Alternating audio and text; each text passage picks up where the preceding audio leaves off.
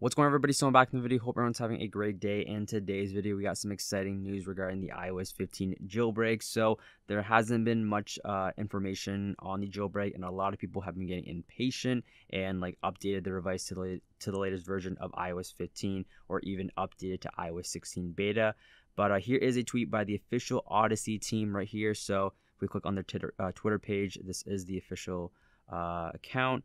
And if we go back, this is their latest tweet says Cheyote coming soon. And if you actually click on the images right here, um, it's the Cheyote by Odyssey team and then the jailbreak icon. So this is the new UI for the upcoming jailbreak for iOS 15. So it's no longer going to be called the Taurine jailbreak or Taurine 15. So they've completely redesigned and rename this whole new jailbreak upcoming for iOS 15. So this jailbreak is going to support 15.0 all the way through 15.1.1 when it does drop for all devices. So for those who have been just super patient, stayed on the firmwares that they were supposed to, um, those are the support firmwares and it will support all devices if you're in between uh, 15.0 through 15.1.1. So if you go to the next screenshot, we just have the uh, team right here, um, website, Discord, and then the settings page.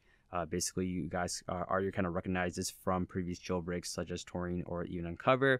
Um, but yeah, this was posted three hours ago and basically we didn't know that they're gonna drop this. They just randomly dropped this like they always do. Odyssey team doesn't really give us any deadlines. Uh, but a lot of people I've seen over on Reddit complaining about this, saying this is nothing crazy. They're just dropping a UI. Um, this is not obviously we don't even know when the jailbreak is gonna gonna come out. But in my opinion, this is some just very good, exciting news because like I said, we just haven't heard much new information, and we know that the jailbreak is still being worked on.